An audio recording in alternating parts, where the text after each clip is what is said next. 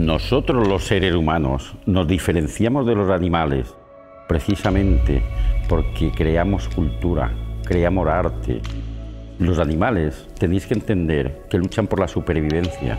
Nosotros damos por hecho que la tenemos y lo que hacemos es convivir con otros semejantes a nosotros. La cultura, precisamente la cultura, abre una escena que no existe realmente, con lo cual creemos un mundo mejor apostando y apoyando precisamente por la cultura.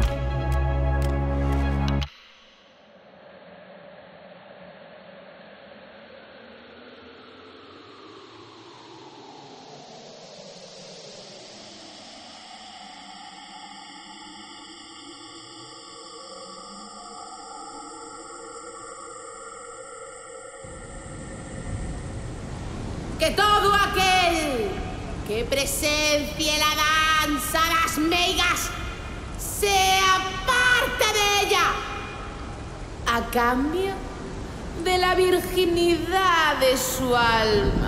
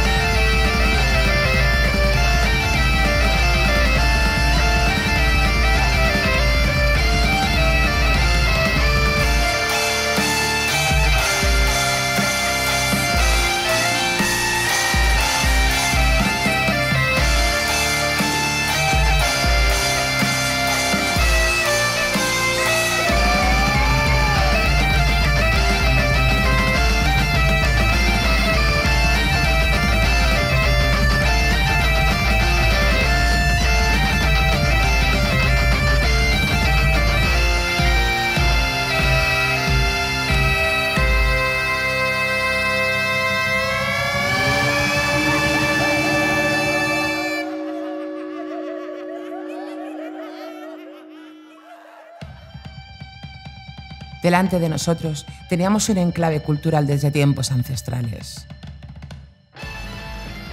Y entendimos que ese lugar era una muestra palpable de reconversión tras reconversión, la lección a aprender.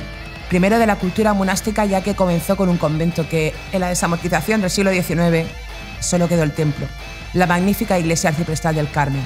Luego ahí nace el primer colegio público de Murcia, después la segunda sede de la universidad, para terminar una parte como museo y otra como laboratorio artístico. Un lugar que una y otra vez buscaba su sitio, que evolucionaba y sostenía la cultura, la educación. De nuevo, impresionados, sentimos esa fuerza proveniente del libro, que era como si una descarga nos invadiera y dejara esos conocimientos en nosotros. Curiosamente, aunque de primera se quería construir una plaza de toros a principios del siglo XX, acaban creando las primeras escuelas graduadas del Carmen y que en los años 20 pasaría a ser la segunda sede de la Universidad de Murcia. Después, de nuevo, pasa a ser un colegio y ya en el siglo XXI contiene dos espacios, el Museo de la Archicofradía de la Sangre y el LAC, Laboratorio Artístico del Carmen, donde de una manera absolutamente revolucionaria une las artes bajo un mismo estandarte en el aprendizaje, la experimentación y la exposición.